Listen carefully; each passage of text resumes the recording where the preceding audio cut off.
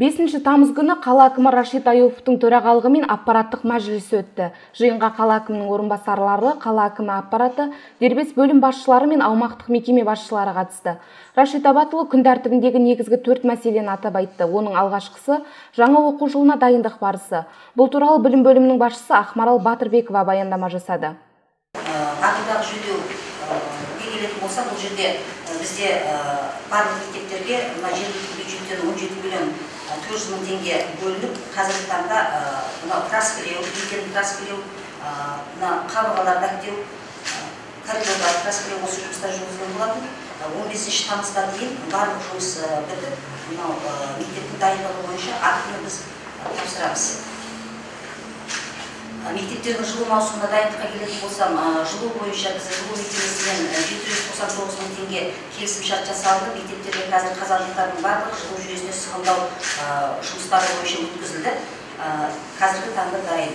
Қатты отын біз алтын азия мекемесімен төрт мың бес жүз қырық төрт тоннаға алпыс тоғыз миллион бес жүз елу жеті мың теңгеге келісімшарт жасалынып қазіргі таңда екі мың тонна көмір мектептерге таратылды. Отынмен бізде үш мектеп қамтылады. Бұл жеке кәсіпкер дулата мекемесінен биылғы жылы ұтып алып отыр. Жүз қырық сегіз мың литр ол жиырма сегіз миллион сегіз жүз алпыс мың теңге келісім жасалынды алпыс екі мың тонна мектептерге таратылды. Бар өздерінің мектептердегі жаңағы несіне айдың жаңағы қоймасына өздері алып алады қалғанын жаңағыдай жеке дайын тұр бұл бойынша. Газ жүйесіне газ жүйесімен бізде бес мектеп қамтылған.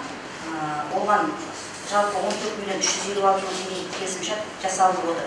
Енді отыз екі мектепке толық талдау жасайтын болсақ онда қатты отынмен қамтылған мектептер саны жиырма сұйық отынмен қамтылған мектептер саны үшеу орталықтандырылған мектептерге қосылған мектептеріміздің саны төртеу газ жүйесімен қамтылған мектептер саны бесеу жиында көтерілген келесі мәселе шағын және орта бизнесті дамыту бойынша атқарылып жатқан жұмыстар индустриалды аймақты кеңейту мен жер телімдерін бөлу бойынша өзекті мәселелер. Осы турасында мәліметтерді атап көрсеткен кәсіпкерлік бөлімінің басшысы гүлжамал даханова мемлекет тарапынан бөлінген кәсіпкерлік гранттар туралы да айтты.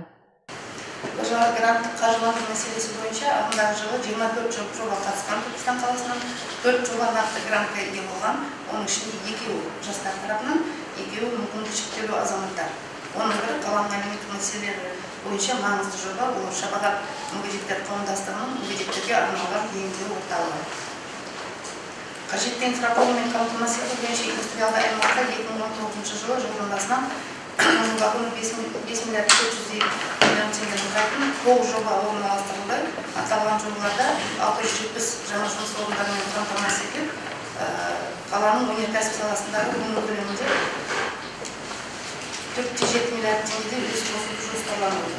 Жобалардың басым бөлігі қаладағы құрылыс жұмыстарының көлеміне бағытталған өзге де металл емес саласындағы өнімдерді өндіретін болады қолданыстағы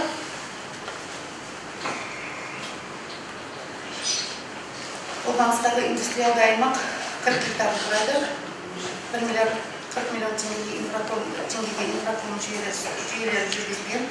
Жалпы аймақта жобаның құны құрайды миллиард жиырма үш жоба орналасқан оларда бір мың үш жүз сексен үш жұмыс орны қамтамасыз етілетін болады. Осы жобалар толығымен жүзеге асырылғанда бүгінгі таңда жеті кәсіпорын мемлекеттік қабылданып өткен оларда төрт жүз елу тоғыз төрт жүз елу тоғыз жұмыс орны ашылып бір миллиард тоғыз жүз жиырма миллион теңгеге инвестиция тартылған. Мәжілісте қала көлемінде ескірген жарнамаларды алмастыру мен қаттамалық тапсырмалардың орындалуы да сөз болды.